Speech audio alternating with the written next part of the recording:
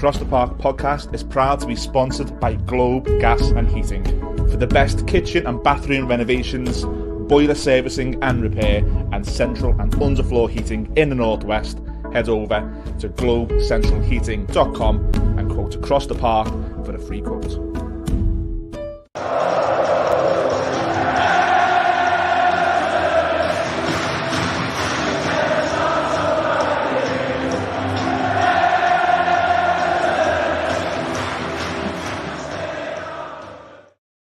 D, that song is an earworm. I guarantee you'll be whistling it despite being a Palace fan. Welcome to Across the Park podcast, the big match preview, the opposition preview, as Crystal Palace play host to the Mighty Blues this Saturday down in the nation's capital. And me and Mills, you know that already. Returning to the show, Crystal Palace fan, friends of ours, D from Back of the Nest. D, how are you, my friend?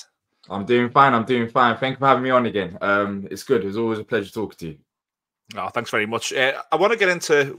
We, we sort of left off last season. One of the questions I asked you was about Roy Hodgson, and you you were very much on the fence. You were very much like, if it's the right thing for Palace, then we'll do it.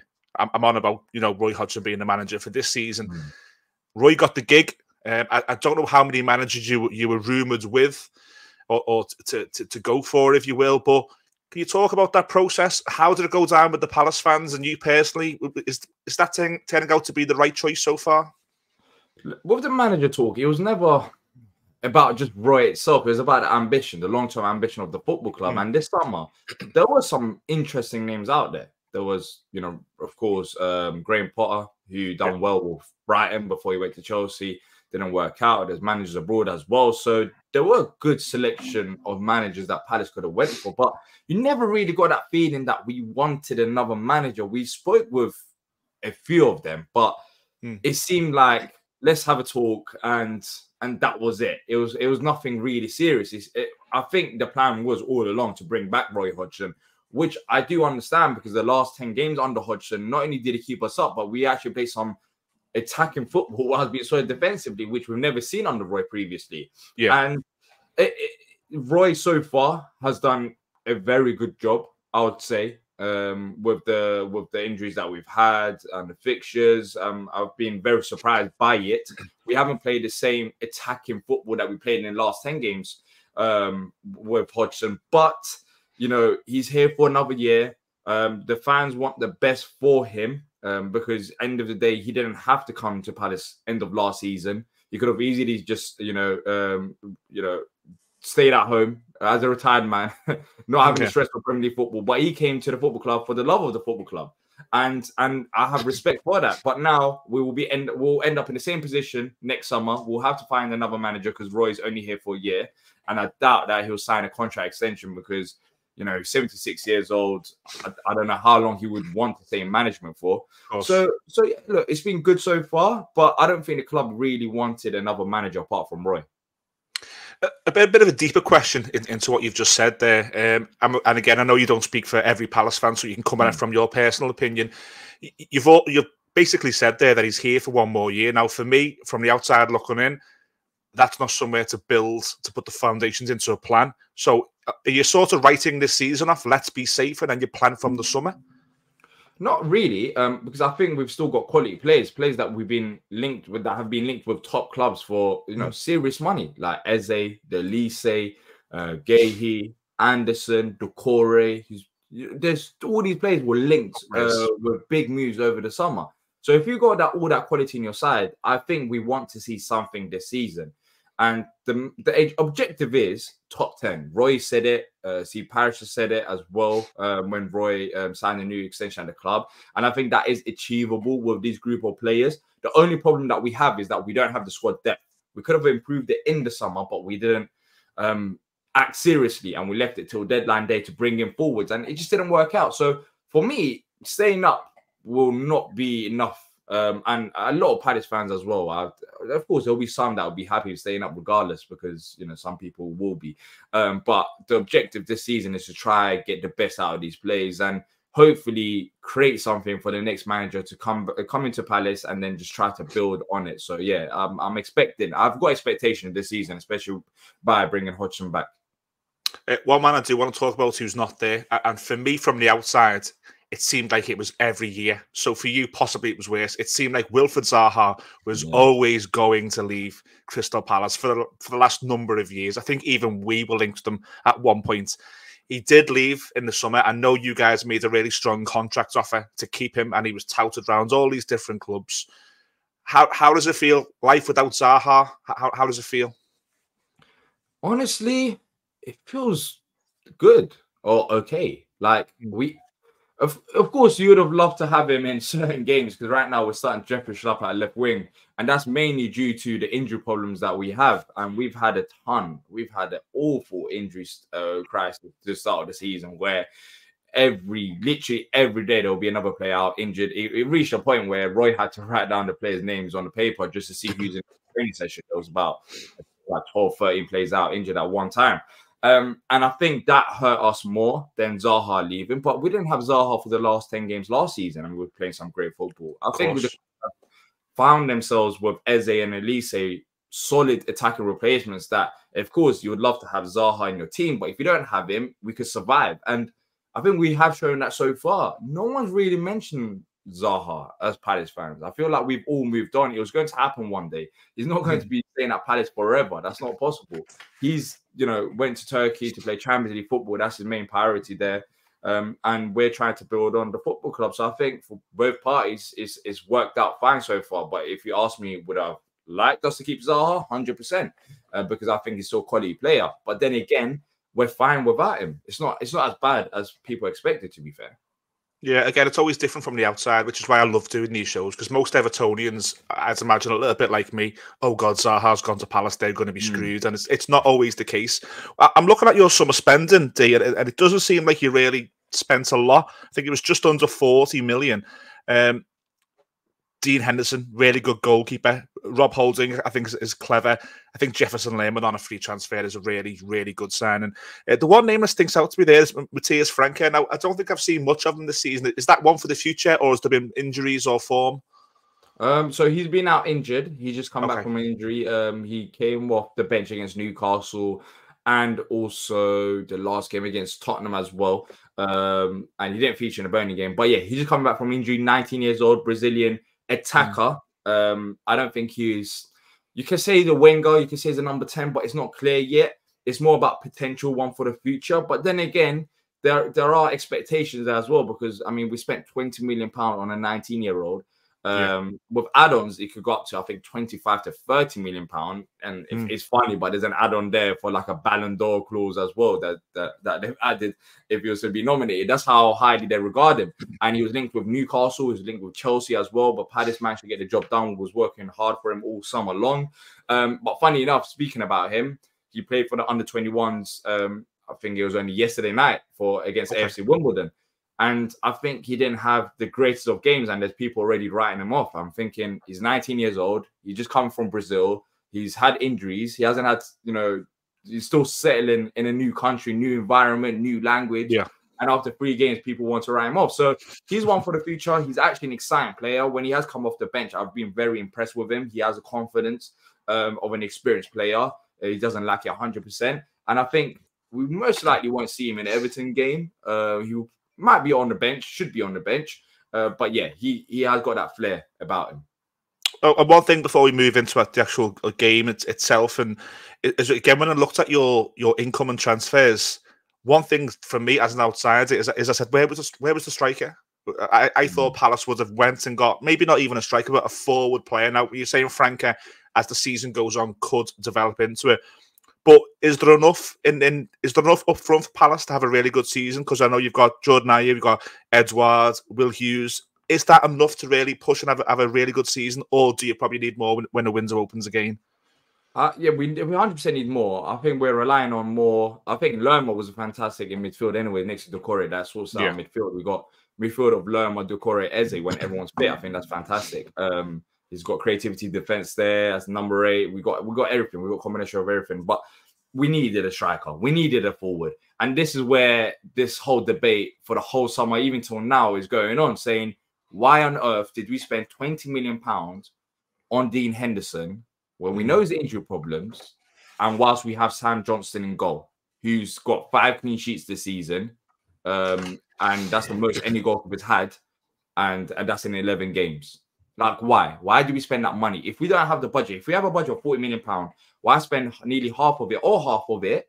I think it's like fifteen to twenty hmm. on on the backup goalkeeper. It just didn't make any sense. Now he's he's a good, very good option to have a backup goalkeeper, but it's it's about picking your priorities. We we needed another forward. We needed depth yeah. options there. Injuries have hurt us, but another striker. We've seen with Edouard. Edouard's actually had a solid start to the season, much better than last season in terms of his overall game. But we know what to expect from Mateta, Edouard as well. Now was the time to go bring in another forward and try to push on alongside Eze and Olise. Eze and Olise are still there, but another forward would have come a long way. França, I guess, could be that forward, but he's still young. It's more about potential. And yeah, it was if summer window was very frustrating. We left it to a last minute deadline day. Was linked with Hugo Ekitike uh, from PSG, which I mean, a few days before the window shuts, we had like three or two, three uh, months to sort the problem out. So it was a frustrating window, in honesty. We, we, I mean, Lerma was probably our best signing. Um, but yeah, the, the, Dean Henderson one was the most baffling thing because it, it meant that we didn't bring in another forward. Yeah.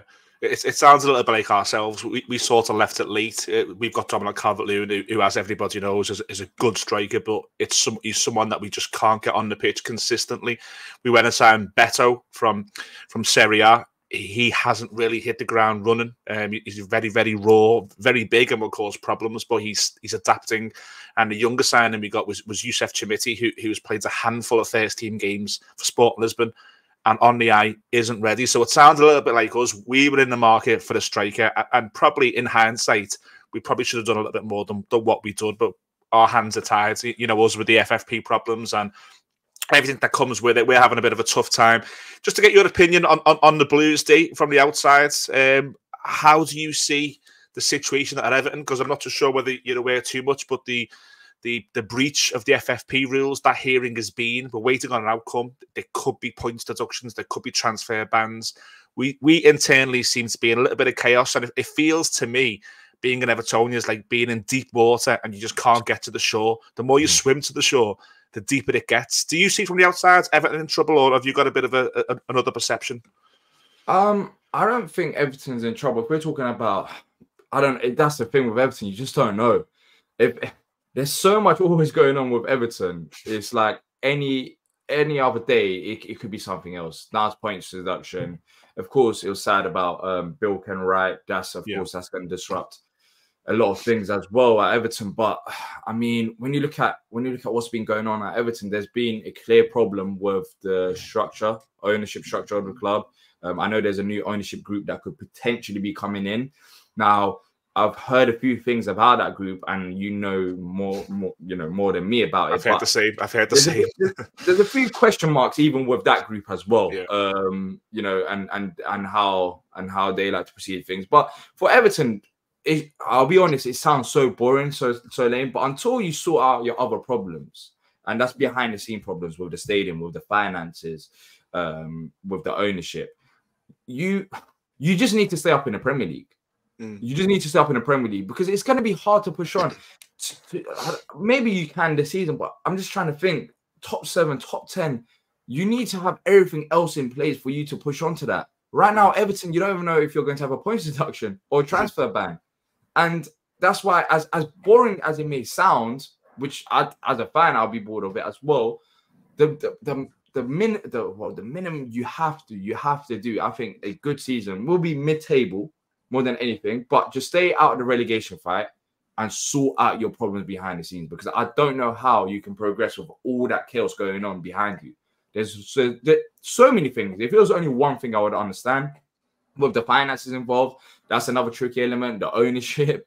Um, now with this investigation, yeah, I think Everton on the pitch i have actually been solid this season in mm. terms of you know picking up points and performances. I remember early on in the season, it was a case of finishing your chances, um, which of course um, you struggled with, but now slowly you're getting into rhythm, you're getting them results. So I don't think you've been terrible this season in terms of picking up points. Of course, maybe the side of football, Everton fans might want to see a bit more, but right now you need stability. And I mean, who else is going to deliver that than Sean Dyche, who's who done that at Burnley with limited resources. So I think for the short for the short to medium um, term, you just need to be patient. I think patience is the key with Everton, and then afterwards, once all these problems are solved, then you can look ahead and then you can look at the style and maybe some of the players and try to push on. But right now, it's so hard. Yeah, look, I think you've nailed it. I think for me, I'm, I'm sitting here nodding and agreeing. It's what I, it's what I want. I want in April, I want to be able to sleep and not think about my football club because the past couple of years, you know, the game we, we, we you you were your team was part of it two seasons ago, to sec, second to last game of the season where we stayed up, and then last season, with the final game, stayed up. I'm not too sure whether you've been there in your lifetime, but I, I tell you what, D, I don't want no one to go through it unless you're a Liverpool fan because it's sleepless, sleepless nights, my friend, yeah, and I don't want that. So for me to have mid-table this season would be great. We've we found ourselves in the quarter final of the League Cup. So all, all, it's not looking too bad. I think the style of football does grate on some fans, but I think when you remove yourself from that initial frustration of surrendering the ball and, and it's not pretty, if you remove yourself from that, the, the plan for Sean Dyche is to keep Everton in the Premier League. That's his job remit. He's got a two and a half year contract or a three and a half year contract. And the job remit in those two or three years is don't go down. And I think there's a style of football that comes with that. And I think patience, I think that's the, the best word uh, how I can describe where we have to be as a fan base. Everything has to start again from the from the grounds up for us, including the grounds. Ironically, everything's got to start again, and it almost has to be a little bit like a rebirth. And you guys yeah. went through that, didn't you, yourself a few years back? Yeah, yeah I mean, we've done it under we done under Hodgson. So when Hodgson left, actually after Hodgson, uh, when he last left and Patrick Vieira came in, we got rid of like 10 players mm. or 11 players, players out of contract. We brought in Olise, Eze, Guéhi, Anderson, uh, Doucouré. It was like a new era. But then again, I think with Palace is a bit different because when we when we did do that, you know, restructure of, of the players and the squad and the management, we had pretty much everything behind the scenes sorted. We didn't have the financial problems. We didn't. Well, of course, we're trying to build a new stand, uh, not mm. a new stadium, uh, which has been ongoing for the past probably like seven to eight years. I know. What stand is that? Say, that you're trying to rebuild? Which one is it? Yeah, it's the it's the one uh, in the main stand. So we're trying to increase the capacity to like thirty two thousand. So I think by six oh, right. to eight thousand.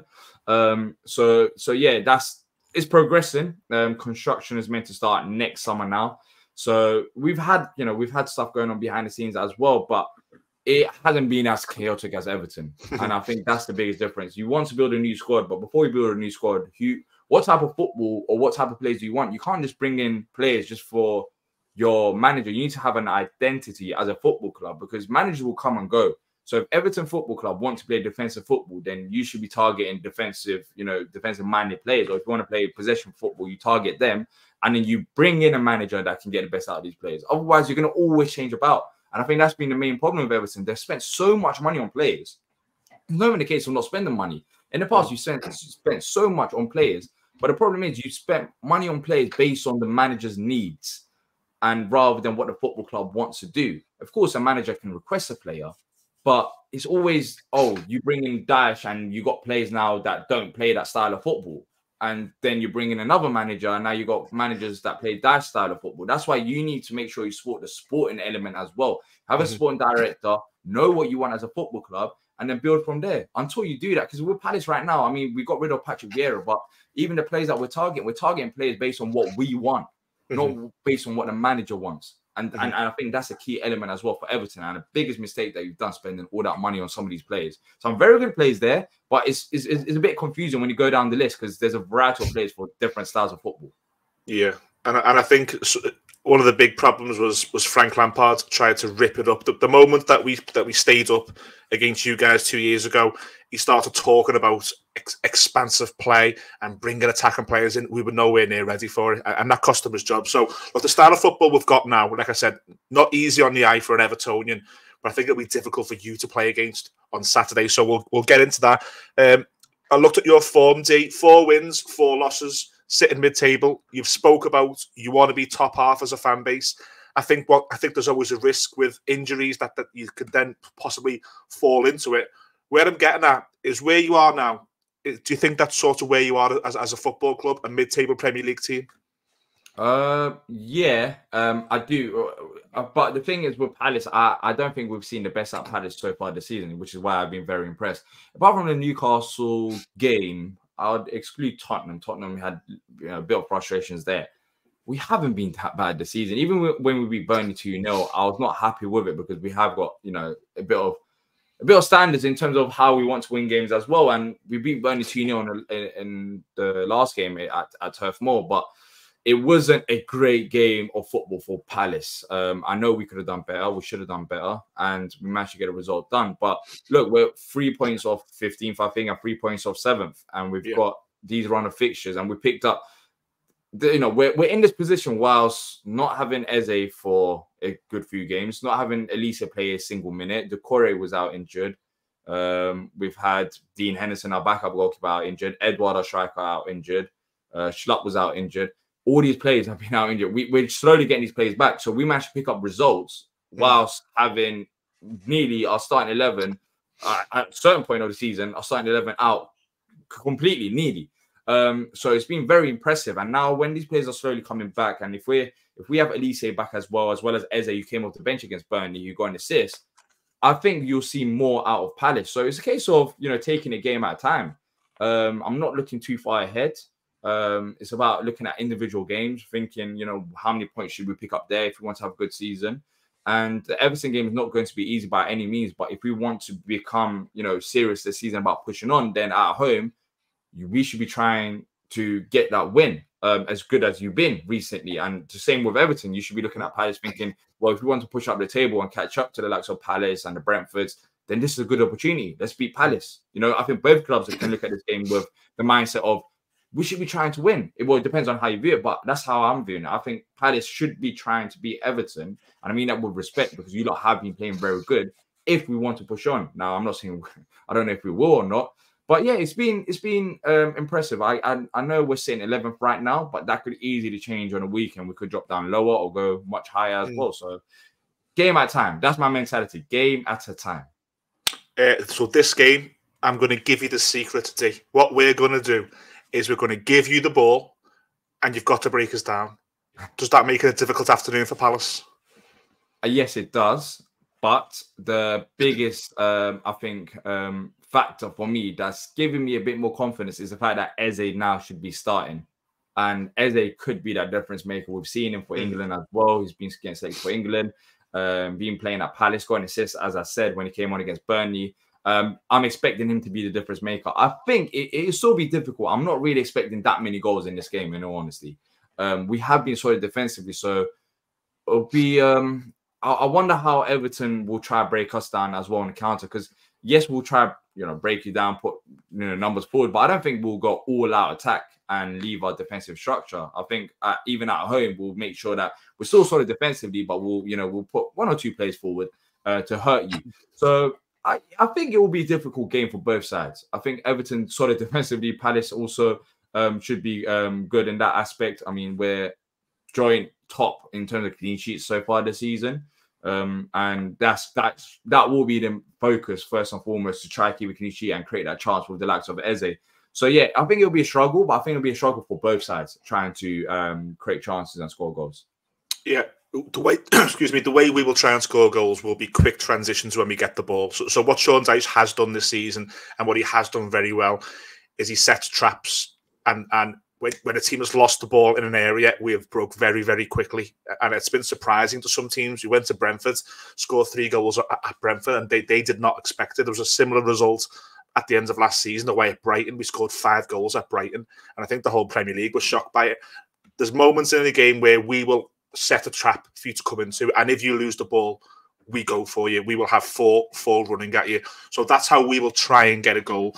Um, I think looking at it from Evertonian point of view, I think it's probably right to surrender the ball to you and play this way. I, I, think you will be looking at Everton, rightly or wrongly, as a bottom half Premier League team who, on your journey, you need to beat, and we need to play into that. We need to not get our cocky heads on and say, "Who are they to think that?" We need to go, "Okay, that's fine. Let them feel comfortable against us. Let them feel they should beat us. Give them the ball, and the moment we get the ball, we punish them. I think that's how we set up. You've said how you set up there. Is Hodgson good at changing styles in game? So, so for instance, if Everton go one 0 up on a counter, would he stick to what he does, or would he adjust things? Um, he doesn't really adjust things in terms of tactics. He'll he'll try adjust things in terms of players. Yeah. Um, but even then, he's had a few problems with substitutions and his comments about younger players, etc. Because of because of the amount of injuries that we've had, our, our bench has looked weaker than than normal. But um, but then again, against Burnley, that the bench did look a bit stronger, and he did make them subs even when we were one 0 up. Um, so he's not he's not going to we're not going to switch up from i don't know let's say from you know counter attacking football possession football to all of a sudden go all out attack he won't yeah. do that, but he will try to change up with a few players. Yes, so it's a case of um, looking at the game, seeing how it's going. Of course, we know that you will try to hit us on the counter, but mm-hmm. we will be well. We should be ready for that because I know I know that's what we're going to expect. And Guéhi and Anderson, um, maybe one of the fullbacks might stay behind as well to form a free. Um, but yeah, I, I, it shouldn't be a high scoring game. Um, and in honesty, when it, when we talk about it, who's going to score goals, how we're going to break each other up, it, it, doesn't sound like the most exciting game in the world because I, I, right now I'm sensing there's going to be not that many goals. I think it's going to be a mm. case of if someone scores, they can they can nick the game um, one um, 0 and I wouldn't be surprised with a draw. But yeah, it should be a tactical a tactical battle. Uh, we know what to expect from Everton. Everton know what to expect from Palace uh, with our with our creative player, not creative players. Well, Ayew's been solid so far this season, but Eze will be the main one, and we just have to try and nullify that and and get that get that goal. Literally get that goal. Try to break everything down and maybe invite the pressure. Give you the ball. Maybe do roll uh, roll. Yeah, we'll, we'll, be screwed. We'll be screwed then. we'll be absolutely screwed if you do that. yeah, exactly. Maybe, maybe, maybe we'll say, you know what, Everton, you have the ball instead. Why do you always keep the ball? You have oh, the give, ball. We'll just give it back to you. Give a counter. so it could, it could, it could work both ways. Um, but but at home, I'm expecting Palace to have a bit more possession, and I'm expecting Everton to sit back. So. And I, I, it's, it's, going to be a game of who can break each other down. That yeah. I think that's going to be it look, I'm looking forward to it for, different reasons. This is not going to be PSG versus Manchester City. It's not going to be that game, but for different reasons, I think it's going to be a very good game. You've got two, you know, good managers. You've got two very historic big clubs who, who have gone through transitional periods, and I think it'll be a really good game. I'll give you my prediction, D. I think it's going to be one-one, um, and I'm going to. My storyline is that we hit you in the first half on a counter or a set piece, and then you do get back into it in the second half and and you score, and it's one-one if I had a free bet this weekend, that's where I put it. What are you saying as, as a counter? What's your prediction? How's it going to go? My prediction is there's two scores that's bugging me, but I'm going to stick with the original one.